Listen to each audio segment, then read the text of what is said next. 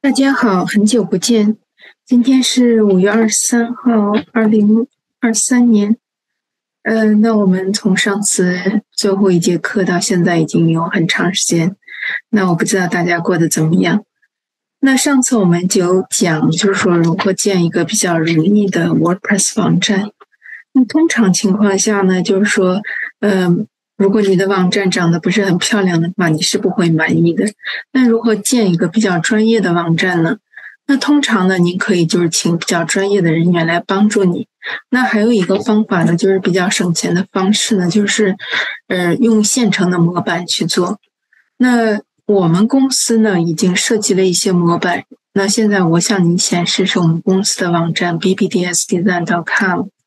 如果您来我们公司的网站，这边有个 demo page，在这里呢，就是我们放了一些我们已经做好的这个模板。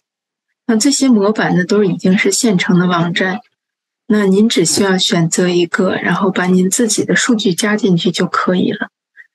然后这个自己去这个把您的内容加进去呢，并不复杂，是比较简单的。那这些网站呢，因为设计上。稍微看上去比较繁琐一点，所以我们是用 Site Builder。那这个 Site Builder 呢，就是说是 WP Bakery 也是非常实用的。那我相信就是说您大概点一点看一看就可以。那如果就是说您觉得这个是就是说个可行的方案的话，您可以到我的公司的网站，就是在这个 BBDSD 站上。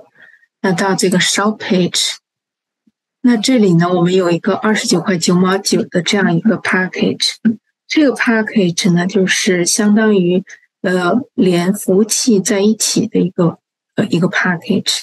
就是说，你如果购买这个 Package 的话，您只要每个月付二十九块九毛九，你就可以有一个已经设站，然后还有包括你的服务器在。全部在一起，那您唯一需要做的工作就是把您自己的内容加进去。如果你有任何困难需要我们帮助的话，你也可以联络我们。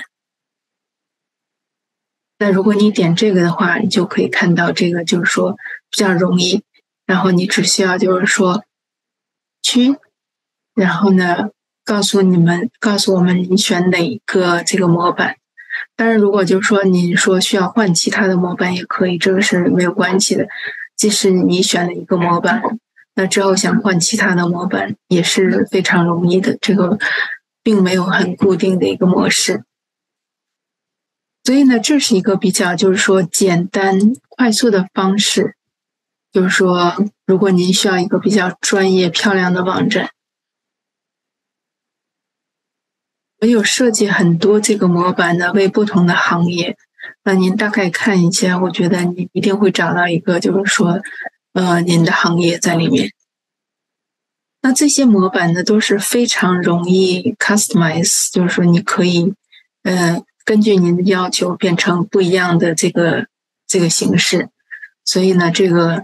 并不是很固定的，那这个只是我们最开始的一个设计。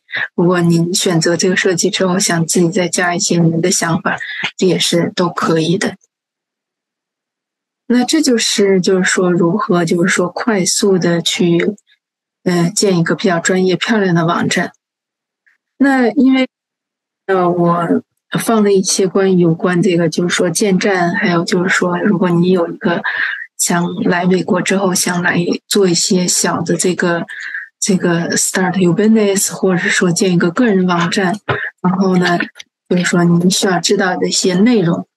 那所以我设计了一系列的这个课程。那我看到有些网友呢，就是说呃留言，还有问了一些问题，那我在这里统一回答一下。就是第一呢，就是说有网友问这个 WordPress 在国内有没有？那这个呢，我真还是不清楚，因为这个我现在是在美国波士顿，这个在美国是一个非常非常流行的软件。那在呃这个其他地方呢也非常流行，但是我不知道国内就是说有没有这个软件，这个不是非常的清楚。呃，但它确实有中文版的，就是说这个软件有中文版的，如果就是说你想用它的中文版是没有问题的。